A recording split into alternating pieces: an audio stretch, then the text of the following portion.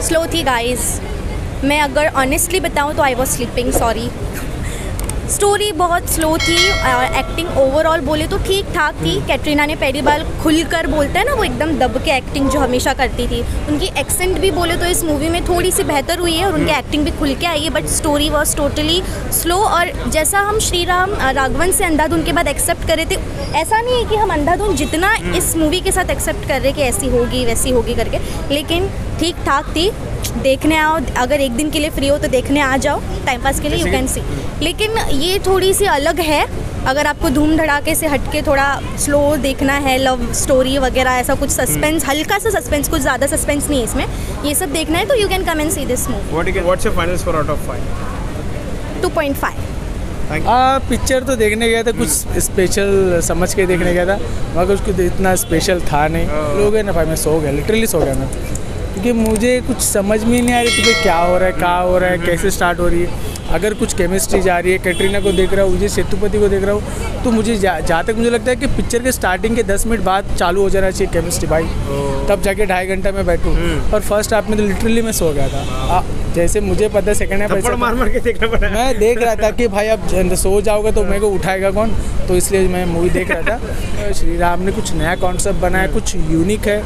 अगर एक मास और फाइटिंग वो वो सब देखना तो मत जाना।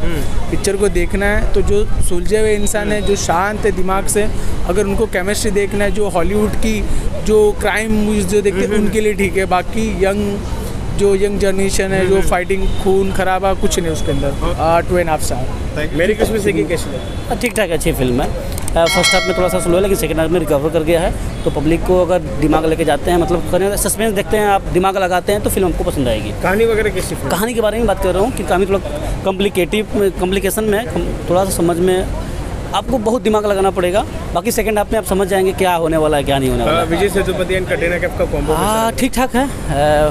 शायद पहली फ़िल्म है दोनों की। तो बहुत अच्छा लगा दोनों को अच्छी ठीक ठाक है। और बात की बोला जाए विजय सेतु जो विजय सेतुपति हैं वो बोलते हैं जो बोल उनका फन बोलने का स्टाइल ही कि फन है तो थोड़ा बीच बीच में हँसी आता है। कितनी एंगेजिंग और कितनी बोरिंग फ़िल्म है? बोला तो फ़र्स्ट हाफ़ में थोड़ा स्लो है सेकंड हाफ़ में थोड़ा इंगेज कर रहा है फिर लोगों वो स्पेशल ऑडियंस को पसंद आएगी। ओके क्लास ऑडियंस है क्लास ऑडियंस ये पसंद आएगी।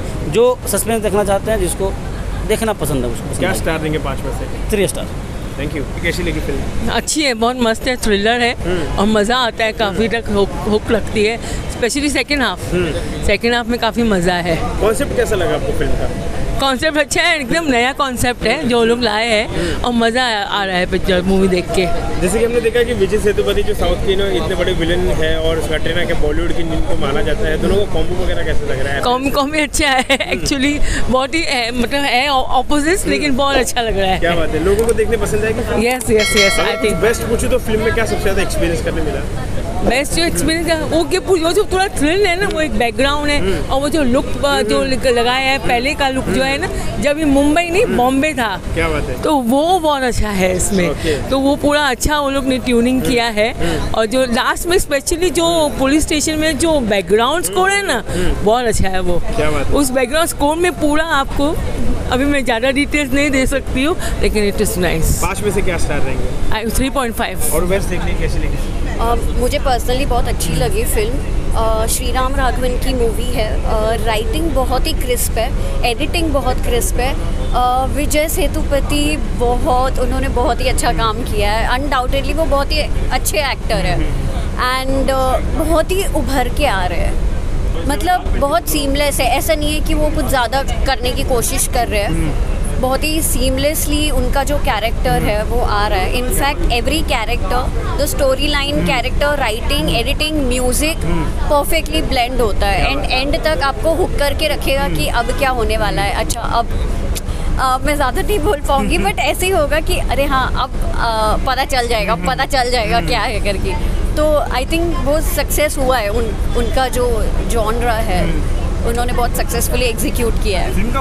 फोर